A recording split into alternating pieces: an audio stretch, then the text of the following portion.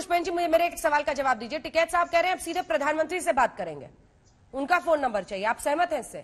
कि पीएम ही बातचीत नहीं करे ये तो किसानों से। ये तो फ़ोन ये तो प्रधानमंत्री जी ने स्वयं ही कहा था कि भाई हम एक कॉल दूर है हम्म। बात कर लेते हैं। और जब 10-12 राउंड की वार्ता के बाद भी ये लोग कुछ निर्णय नहीं ले पा रहे हैं यानी मंत्रीगण तो इनको हायर लेवल पे जहाँ से ये पूछते हैं क्योंकि वार्ता के बीच में ये ब्रेक लेके जाते हैं फिर फ़ोन करते हैं कि भाई किसानों ने ये कहा हम क्या कहें? तो इससे अच्छा है कि वही व्यक्ति जिनसे ये पूछते हैं वो सामने आ जाए इसमें आपत्ति क्या है? क्या प्रधानमंत्री को अपने देश के किसानों से नहीं मिलना चाहिए? गौरव अगर वो जवाब आंदोलन दीजिए। कर रहे मिलना चाहिए? गौरव भाटिया जी जवाब दीजिए जरा।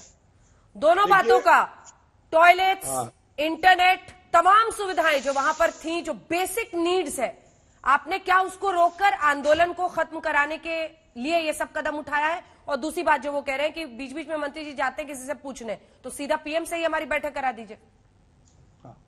देखिए, सबसे पहले तो यहाँ ये इंटरनेट की बात कर रहे हैं अंजना जी। हम लोग इंसानों की जान की बात कर रहे हैं। कानून व्यवस्था बनाए रखना सरकार की ज़िम्मेदारी होती है और आज ही कश्मीर में भी 4G चालू हो गया है। क्या दर्शाता है? ये दर्शाता है कि हमें सुनिश्चित करना है कि किसी की जान ना जाए और उसके लिए कुछ ठोस कदम उठाने पड़ते हैं।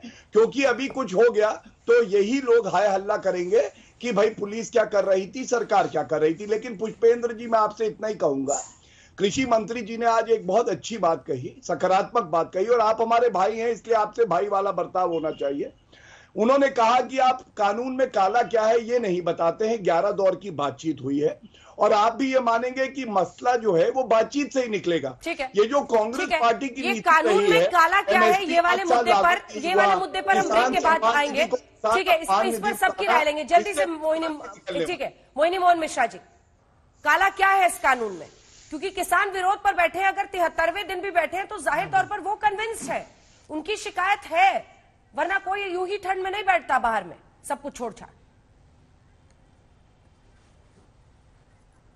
नहीं अंजना जी हाँ। जो किसान इस आंदोलन में नहीं है जो यहाँ बैठे नहीं है वो भी अन्नदाता नहीं है क्या? जो किसान मांग करते हैं कि ये कानून को लागू करो एक दो थोड़ी बहुत संशोधन करके लागू करो वो वो भी किसान नहीं है क्या?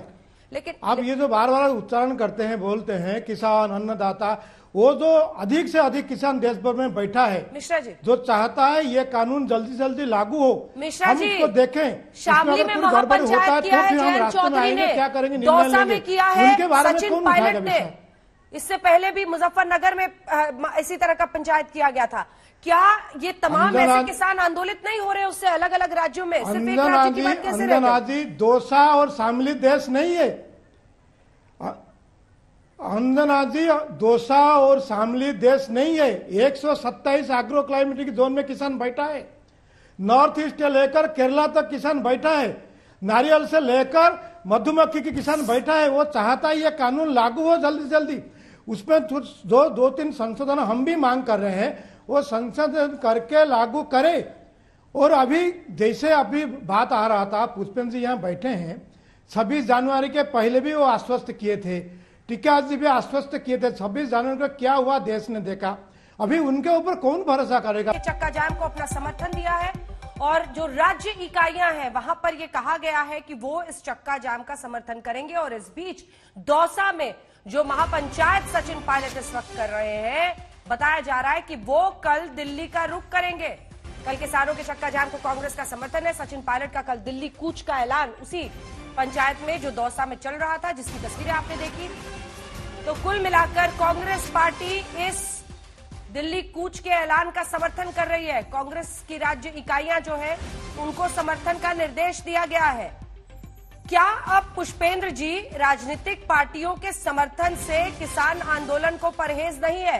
क्योंकि एक वक्त वो भी था, जब अपनी दूरी बनाए रखने के लिए पूरी ताकत झोंकी जा रही थी कि कोई भी राजनीतिक पार्टी को हम मंच नहीं देंगे।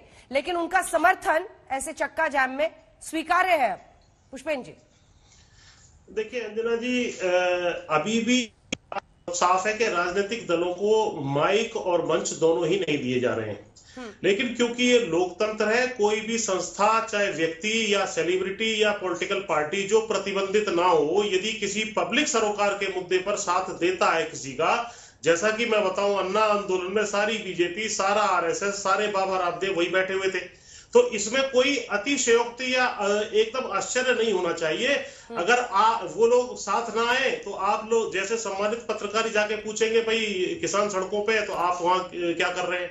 तो जन सरोकार के मुद्दे में कहीं ना कहीं ये संस्थाएँ आती हैं। इसमें कोई आश्चर्य की बात नहीं होनी चाहिए और आना भी चाहिए। और और हमें कोई हम जी।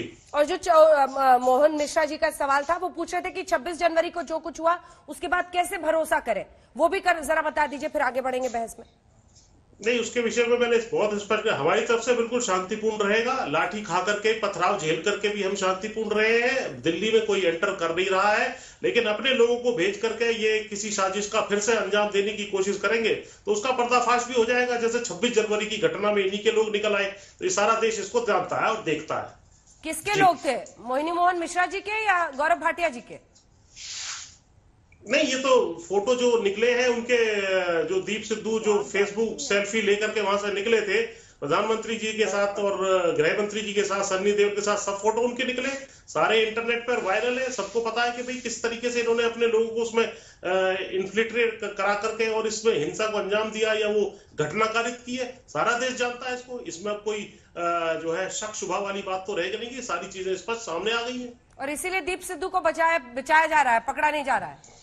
दीप सिद्धू तो कहीं पकड़ में ही नहीं आ रहा है इनकी। दीप सिद्धू ऐसे गायब हो गया जैसे गधे के सिर के ऊपर से सींग गायब हो जाते हैं। तो हम तो किसान हैं। इन्होंने कांटे बोए। आज हम मैं अभी थोड़ी देर पहले धरने पे से आ रहा हूँ। वहाँ वहाँ जो है फूल बोए जा रहे हैं। वहाँ उनके हाँ वो तस्वीरें जरा दिखाइए जहाँ राकेश। टिकैत मिट्टी डाल रहे हैं वही तस्वीरें हैं जहाँ काटे थे बीते दिन तक। उसमें हाँ फूल बो रहे हैं आप लोग। उसमें हम हम लोग ये हमारा नारा सीरा ये कि जो तोकू कांटा बोए वाको बो दे तू फूल। हाँ। तोको फूल के फूल है, वाको है त्रिशूल तो ये जो कांटे इन्होंने हमारे राह में बिछाए हैं, हमने अपने उसके जवाब में फूल बो दिए हैं, हमने अपना मानवीय चेहरा दिखाया है, लेकिन जो कांटे इन्होंने बोए हैं, ये शूल बन के और चुनाव में सालते रहेंगे इनको, और लंबे समय तक किसान इस बात को भूलने वाला नहीं है